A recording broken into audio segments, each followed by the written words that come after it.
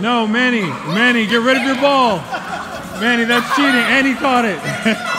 Cheater.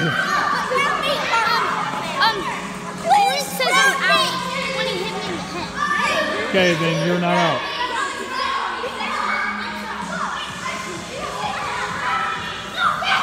Oh, got you. So close.